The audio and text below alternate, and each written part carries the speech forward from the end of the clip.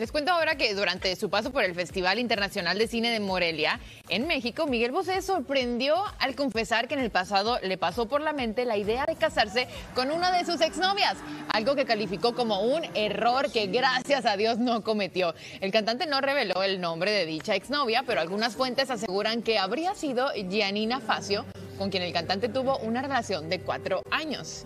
Ah, Qué bueno cuatro que- años. Sí, no, fue una relación mucho. larguita, sí, sí, sí. Así que se casan.